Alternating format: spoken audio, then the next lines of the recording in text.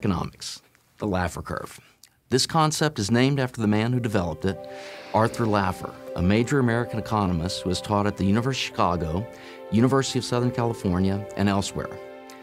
The Laffer curve illustrates the two most important things we need to know about taxes how much money the government can raise from taxes, and at what level of taxation the government might start getting less, not more revenue.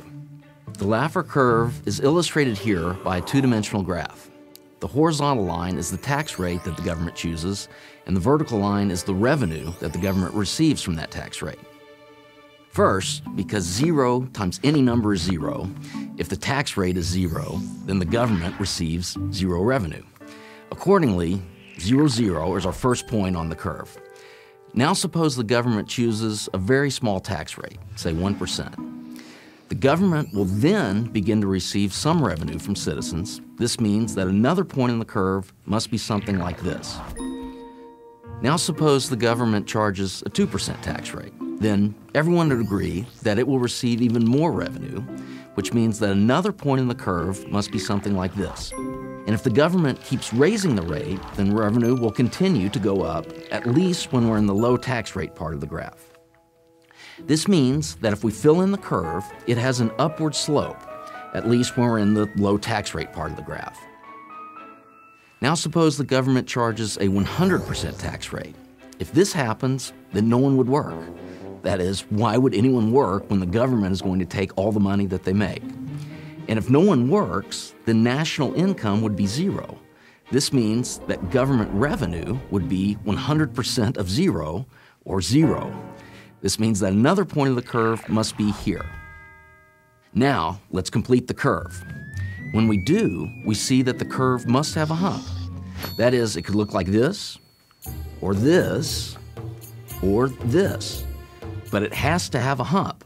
This is simply because the revenue line has to go up in the low tax rate part of the graph, and it has to start going down to reach the point we drew at the 100% tax rate.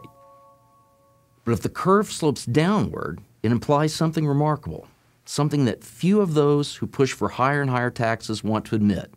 It means that when tax rates are high, if you make them higher, you'll actually bring in less revenue to the government. This has in fact occurred in practice. For instance, during the Great Depression, when Congress passed the Hawley-Smoot Tariff Bill, although the bill raised taxes on imported goods, the revenue that came from those taxes actually decreased. A more recent example occurred in the early 1980s. After President Reagan and Congress drastically reduced the tax rates on the rich, the tax revenue that came from the rich actually increased. All economists, even the most left wing ones, agree that the true Laffer curve, the one that reflects real life, has a hump. That therefore, the curve has a downward sloping part, meaning at some point, tax revenues start going down when you increase rates. So, where then do economists disagree? They disagree about exactly where the hump occurs. When I took my first economics class in 1984 at Stanford University, the textbook said that the hump occurs somewhere around the 70% tax rate. But apparently, I was taught something wrong. New evidence from an unexpected source suggests that the hump occurs at a much lower tax rate, something around 33%. That source is a study by Christina Romer and her husband David Romer. Both are economics professors at the University of California, Berkeley. Christina Romer was the chairman of President Barack Obama's Council of Economic Advisors. In other words, the study was written by one of the most influential liberal economists in the United States, and it was published in the American Economic Review, the most widely respected economics journal in the world. The study examined how national income responds to tax rates.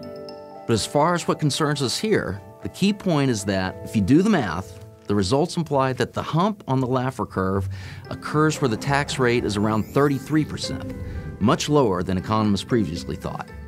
Let's now put these findings into political terms. They suggest that no matter what your politics, you should not want tax rates to be above 33%. Obviously, conservatives and many moderates think rates should be lower than that. But even if you are an extreme left winger and your only goal is to make government as big as possible, you should still oppose a tax rate higher than 33%. The reason is that, as the Romer and Romer study suggests, when tax rates go higher than that, the government actually gets less money.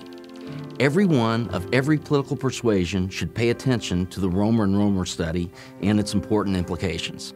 They suggest that if we decrease tax rates, government revenues might actually rise. I'm Tim Groseclose, professor of political science and economics at UCLA